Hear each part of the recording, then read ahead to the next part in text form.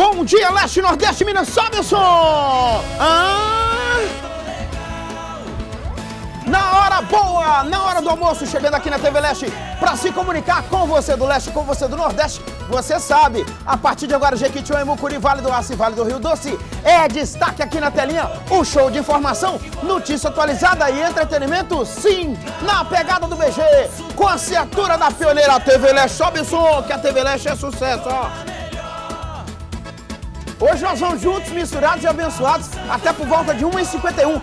Não me abandone, o BG dessa segunda-feira já está no ar. 7 de março de 2022. Nós temos imagens ao vivaço da nossa super câmera no Pico da Bituruna. Se não vejamos mostrando ali, ora, ora, senhoras e senhores, bairro São Pedro, né? Lá no topo tá o Belvedere, lá. Tá o Chacras Braunas. Olha o São Pedro ali, cortando na alta. É o bairro do Gabigol. E esse Rio Doce caudaloso aí, hein?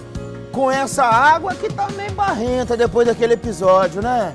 É, obrigado, bairro São Pedro e adjacência pela audiência sensacional no Balanço Geral. Não me abandone, bairro São Pedro. Máxima em Valadares 35 graus e a mínima 20. Ó, segundo o Clima Tempo, não sou eu que falei não. É o Clima Tempo. O Clima Tempo informou sol e aumento de nuvem de manhã, que já passou, né? À tarde, pancada de chuva.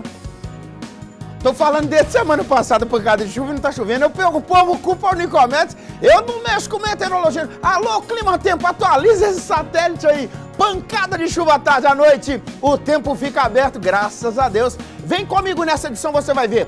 Padrasto é preso, suspeito de cometer estupro contra a enteada de 11 anos de idade. Isso foi em Nanuque.